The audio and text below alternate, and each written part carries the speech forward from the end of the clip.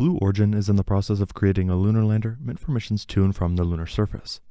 The goal is to create a lander capable of not only transporting payloads but humans as well. With future Artemis missions right around the corner, Blue Origin is hoping to have this capability for when the activity starts to ramp up. Just yesterday, we got a new update on the Blue Moon lander's progress. This came in the form of a new BE-7 engine test. Many people are aware of Blue Origin's BE-4 engine for New Glenn and Vulcan, and the BE-3 used on New Shepard, but not the BE-7. Just one of these engines will provide propulsion for the mainlander segment, an important job with very little room for error. For years now, both this engine and the Blue Moon lander have been under development. Despite this long time period, it's very rare that Blue Origin releases updates on these different pieces of equipment. Here I'll go more in depth into the recent BE-7 test, what exactly Blue Origin's plans are with Blue Moon, what to expect in the coming months, and more.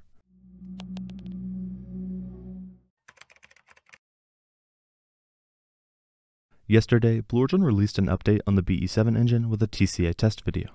Specifically, they tweeted saying, Last week, our BE-7 team conducted another successful thrust chamber assembly or TCA test at NASA Marshall Space Flight Center Test Stand 116. Our tests on an upgraded TCA bring our cumulative test time to more than 4,000 seconds, and we are on track in our engine development path. This included a 40 second video of the engine fire. They also made a comment that this was a self funded test as part of our campaign to advance our lunar capabilities, and we're grateful for our NASA Marshall partners. The BE-7 engine is an additively manufactured, high-performance, dual expander cycle engine generating 40 kilonewtons or 10,000 pound force of thrust. The company points out that the high specific impulse, deep throttling, and restart capabilities of the BE-7 make the engine ideal for large lunar payload transport, while enabling Blue Moon's oxygen slash hydrogen fuel cell power system. While this update is great, it also brings up a few concerns regarding the timeline and development. All the way back in late 2020, Blue Origin kicked off the fourth thrust chamber test series of the BE-7. During this specific test, the thrust chamber was fired for a duration of 20 seconds. This brought the combined testing time on the BE-7 thrust chamber in 2020 to a total of 1,245 seconds. Almost two and a half years later, and they're only surpassing 4,000 seconds of test time with quite a bit of work ahead of them. While not ideal, they did mention that they were still on track in their engine development path. Focusing back on the test footage, the senior vice president of engines at Blue Origin said, The thrust chamber test measured the ability to extract energy out of the hydrogen and oxygen cooled combustion segments that power the engine's turbopumps, the key to achieving high engine performance. In addition, Brent Sherwood, vice president of advanced development programs at Blue Origin, commented, the BE-7, a turbomachinery-based engine using the most efficient propellants, is optimal for deep space maneuvers and landing on the moon.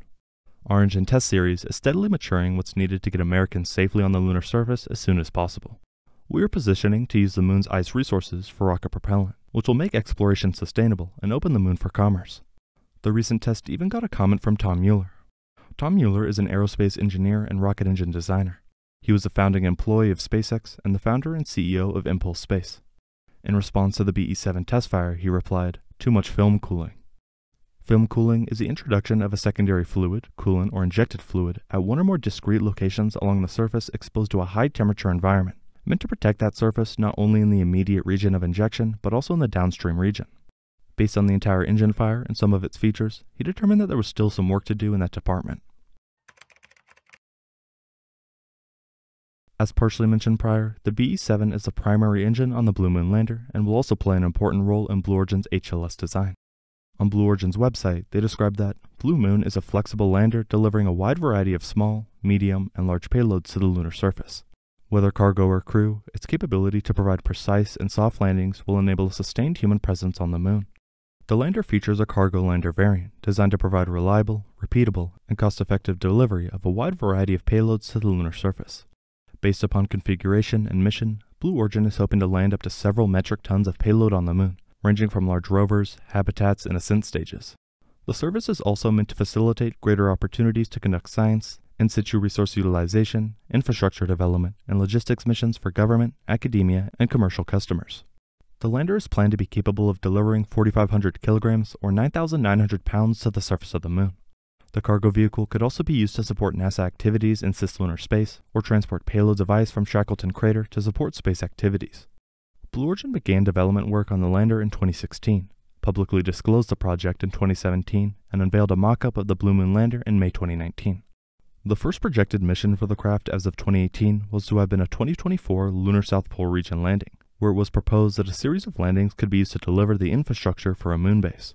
A second potential use was as a part of a NASA funded Integrated Lander Vehicle or ILV effort in 2020 that would have carried humans to the moon, but NASA did not select the ILV design for further funding in the April 2021 selection for the Artemis HLS program.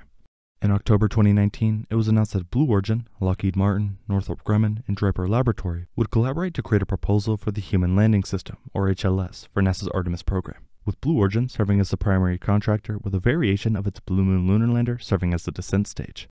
Lockheed Martin would build the ascent stage, in part based on its Orion crew capsule technology. Northrop Grumman would build a transfer stage based on its Cygnus spacecraft technology. The lander was projected to launch on Blue Origin's reusable New Glenn rocket.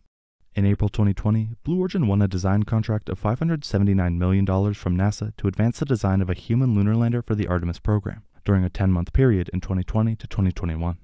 Blue Origin's proposal, submitted along with several large U.S. government space contractors, including Lockheed Martin, Northrop Grumman, and Draper Laboratory, each acting as a subcontractor to Blue Origin, who was to provide the descent element and also be the integration lead, was for the Integrated Lander Vehicle, or ILV, a multi-element spacecraft consisting of an in-space transfer element and ascent element in addition to the blue-provided descent element.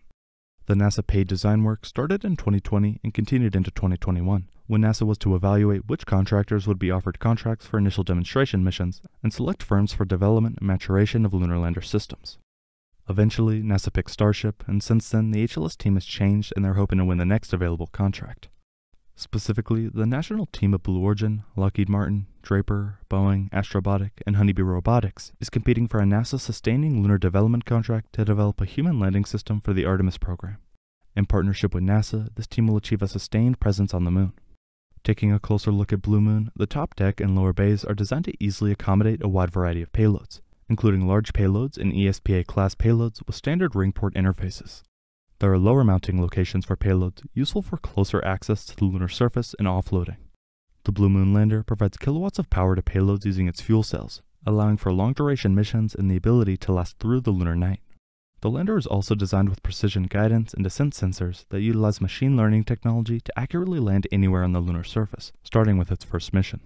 Unfortunately, besides this recent BE-7 test, we've heard very little about either Blue Moon or the SLD national team. Months ago in December of last year, the team submitted the proposal for NASA's SLD program to help the US establish a sustained lunar presence. Right now, we will just have to wait and see how both these programs develop and if Blue Origin is able to secure a significant contract for the future of Artemis and exploration on the moon. Blue Origin just recently completed another test of the BE-7 engine.